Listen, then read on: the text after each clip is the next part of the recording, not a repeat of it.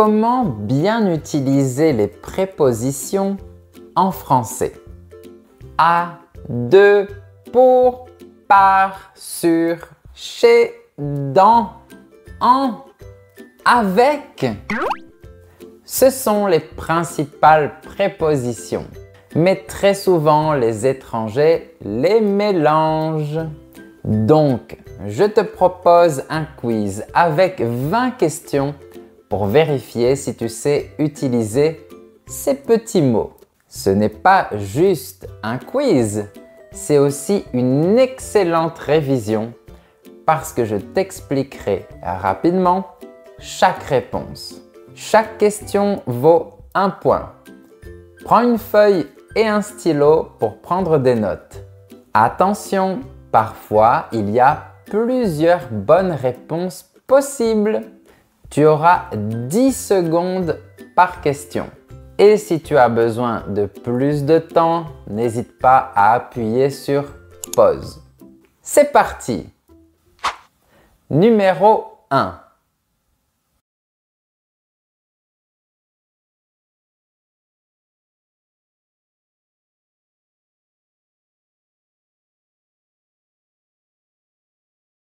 La bonne réponse est Demain, je vais à la plage. On utilise la préposition à pour la plupart des endroits où on va. On ne peut pas utiliser la préposition dans parce que sinon, on a l'impression que tu es sous le sable de la plage et ce serait très bizarre.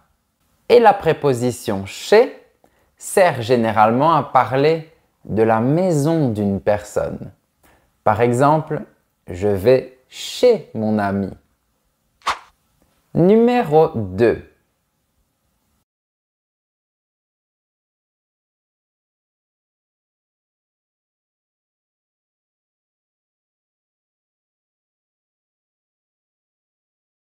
La bonne réponse est le chien est dans le jardin. Ici, c'est un peu étrange, mais on dit dans le jardin, même si c'est un lieu ouvert. Il n'y a pas d'explication. Si on parle du jardin, on utilise la préposition dans. Il faut l'accepter, c'est tout. Numéro 3.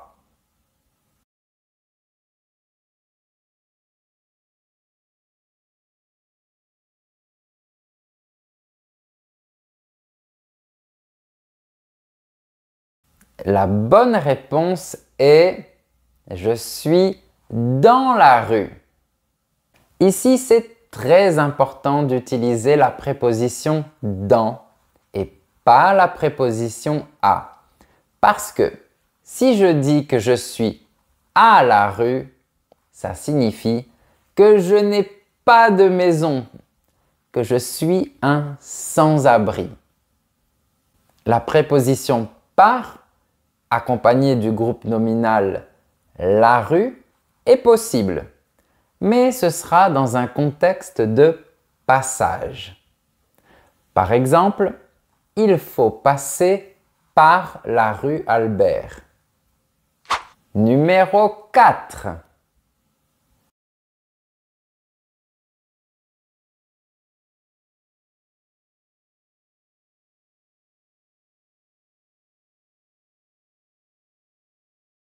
Les bonnes réponses sont en et de. Quand on parle de la matière d'un objet, on utilise la préposition en ou la préposition de. On peut dire j'adore ce t-shirt en coton de manière courante. Mais de manière plus formelle, on peut aussi dire J'adore ce t-shirt de coton. Je te donne un autre exemple. Tu peux dire c'est une belle statue en bronze, c'est le langage courant, mais tu peux aussi dire c'est une belle statue de bronze, c'est le langage soutenu. Numéro 5.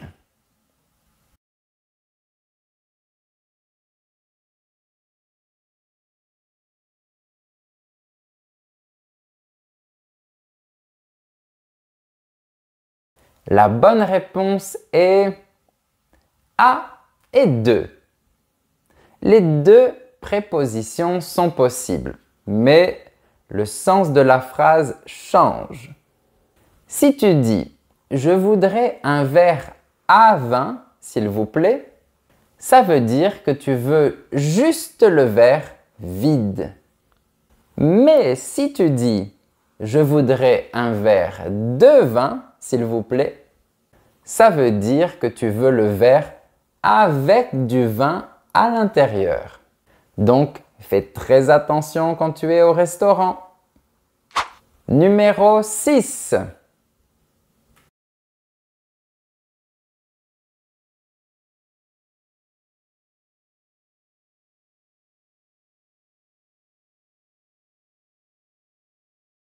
La bonne réponse est la vidéo de Guillaume est sur YouTube. Quand on parle du vocabulaire de l'informatique, de la technologie ou en rapport avec Internet, on utilise la préposition sur. Par exemple, je suis sur différents réseaux sociaux. Je parle d'Internet, donc j'utilise la préposition sur. Ah, et n'oublie pas que je propose également des cours pour apprendre le français sur mon site qui s'appelle professeurfrançais.com. Tous les liens sont dans la description. Numéro 7.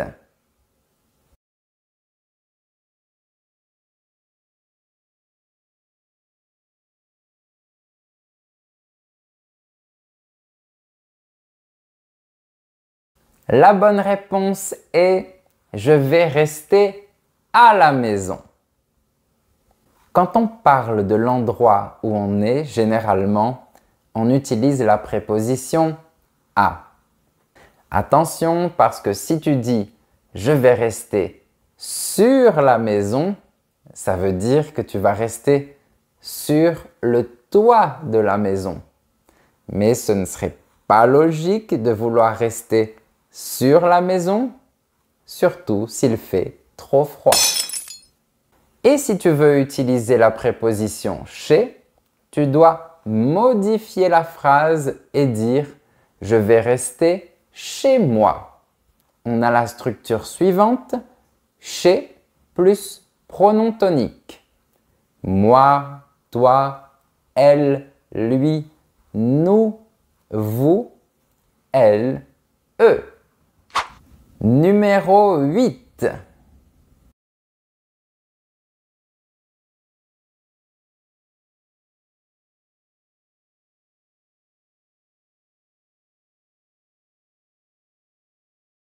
La bonne réponse est toutes les prépositions sont possibles. Mais attention, le sens va changer. Si je dis il y a une réunion à deux heures. Je parle de l'heure exacte à laquelle la réunion va commencer, à deux heures de l'après-midi. Si je dis il y a une réunion de deux heures, je parle de la durée de la réunion. Nous serons réunis pendant deux heures. Si je dis il y a une réunion dans deux heures, je parle du temps qu'il faut attendre avant que la réunion commence. Par exemple, si maintenant il est 15 heures, la réunion commencera à 17 heures. Numéro 9.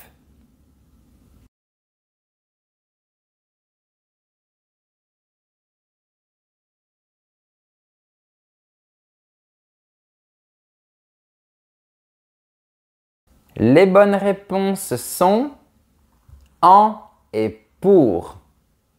Quand on parle de la destination, généralement, on utilise la préposition en avec les pays féminins. Ils vont partir en Italie, en Angleterre, en France, etc.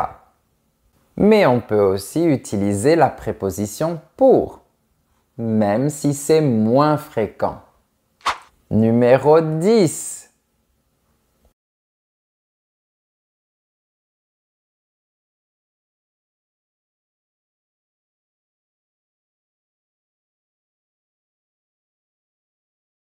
La bonne réponse est je vais chez le médecin.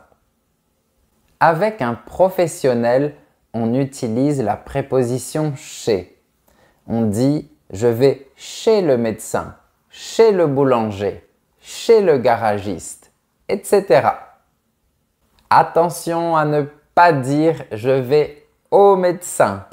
C'est une erreur très courante et que les Français font aussi. Super, tu as déjà répondu à 10 questions. Il en manque encore 10. N'oublie pas de mettre un j'aime si tu aimes ce quiz. Ah, et n'oublie pas de t'abonner si tu n'es pas encore abonné et d'appuyer sur la cloche pour recevoir les notifications.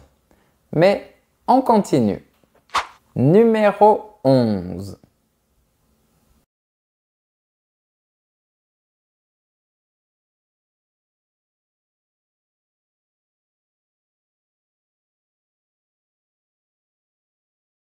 La bonne réponse est je vais chez toi à vélo. Pour parler des transports, quand tu n'es pas à l'intérieur d'un véhicule et que tu as une jambe de chaque côté, généralement, tu utilises la préposition à. Par exemple, on dit je vais chez toi à moto, à cheval à pied, à vélo, etc. Mais pour les moyens de transport fermés, généralement on utilise la préposition en. Par exemple, on dit je vais chez toi en voiture, en train, en métro, en bus, en avion, etc. Numéro 12.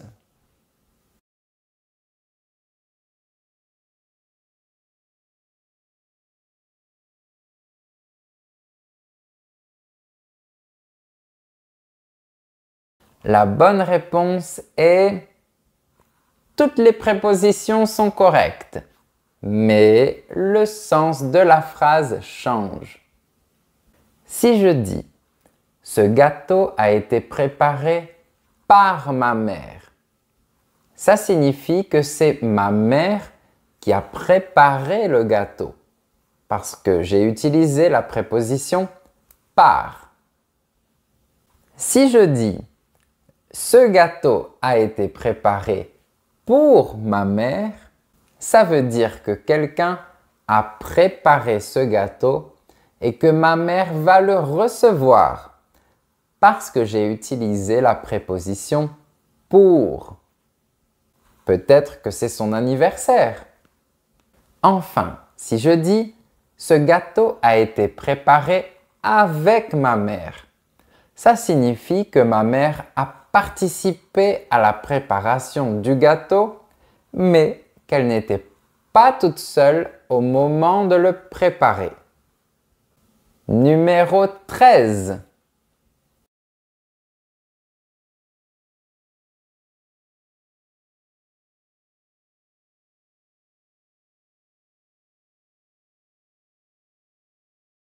La bonne réponse est ce gâteau au chocolat est vraiment délicieux.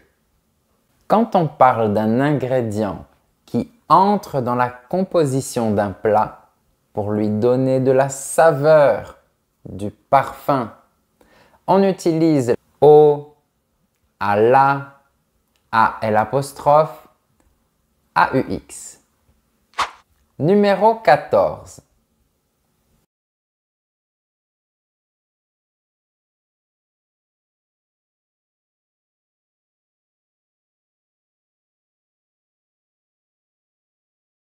La bonne réponse est il rentre à la maison pour se reposer. Ici, on parle de l'objectif, du but. Donc, on utilise la préposition pour. Je te donne un autre exemple. Elle va au supermarché pour faire les courses. Son objectif est de faire les courses. Donc, j'utilise la préposition pour. Numéro 15.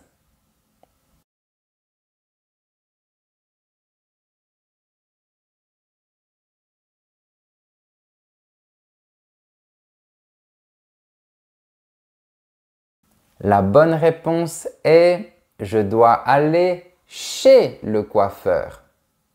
Tu te rappelles la règle que j'ai donnée avant? Avec un professionnel, on utilise la préposition chez. Numéro 16.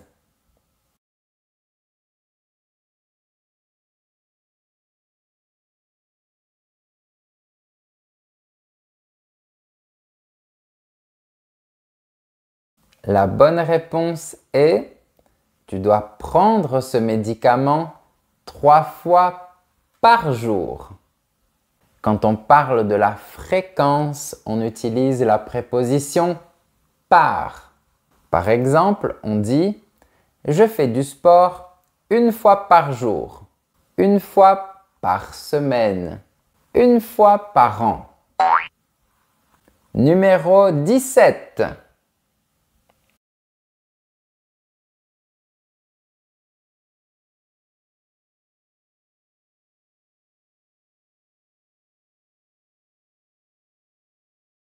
La bonne réponse est J'adore bronzer sur ma terrasse. On parle d'une surface, donc on utilise la préposition sur. Je te donne un autre exemple. Je fais du yoga sur le tapis. C'est une surface sur le tapis. Numéro 18.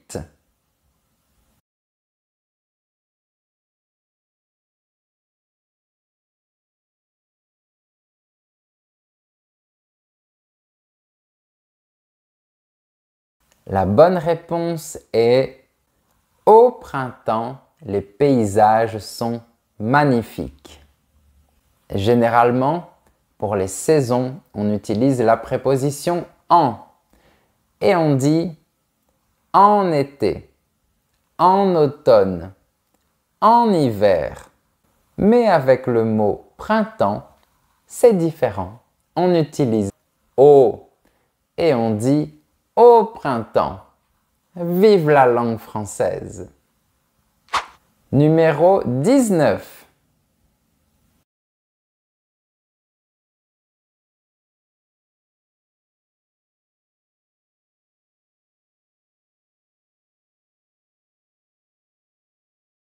La bonne réponse est il a été condamné pour meurtre. Quand on a un motif de punition, on utilise la préposition pour plus le nom directement après. Par exemple, on dit il a été condamné pour meurtre, pour vol, pour agression, etc. Numéro 20.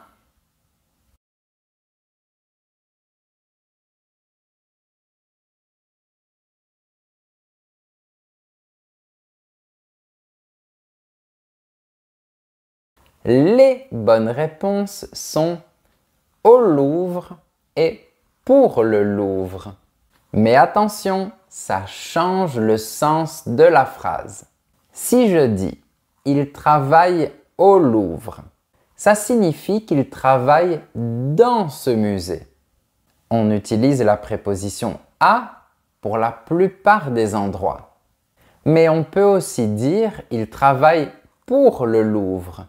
Dans ce cas, on a plus l'impression qu'il fait des missions pour ce musée et qu'il le représente. Voilà, le test est terminé. Bravo à toi pour ton courage. N'oublie pas de me dire ton nombre de points dans les commentaires et si cette vidéo a été utile pour toi. Même si tu as fait des erreurs, maintenant, tu sais mieux utiliser toutes ces prépositions. Si tu veux soutenir ma chaîne, tu peux mettre un j'aime ou faire un don avec un super thanks. Tu peux aussi rejoindre ma communauté de super élèves en devenant membre de ma chaîne YouTube. À très bientôt pour améliorer ton niveau en français. Gros bisous et encore bravo à toi